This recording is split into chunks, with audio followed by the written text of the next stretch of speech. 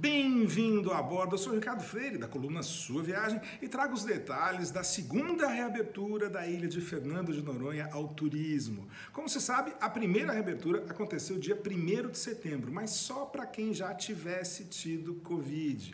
Agora, a partir de 10 de outubro, a ilha vai estar aberta a todos que puderem apresentar um teste PCR negativo para Covid. Teste PCR é aquele feito com suave de nariz ou de garganta.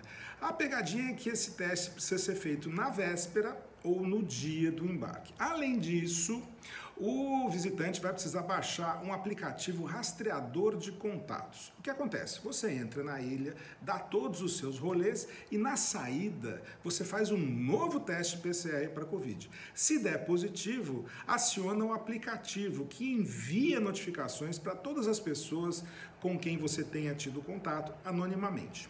É, isso vai prevenir surtos de contágio comunitário na ilha de Fernando de Noronha. O problema todo é encontrar laboratórios que entreguem esse resultado PCR eh, em 24 horas antes do embarque. Normalmente demora mais tempo. As companhias aéreas e os países que exigem esse teste normalmente dão 72 horas de prazo. Vamos ver se as autoridades vão se manter inflexíveis nesse quesito. Né? Vamos acompanhar a evolução desse protocolo. Vai por mim! Viagem na viagem.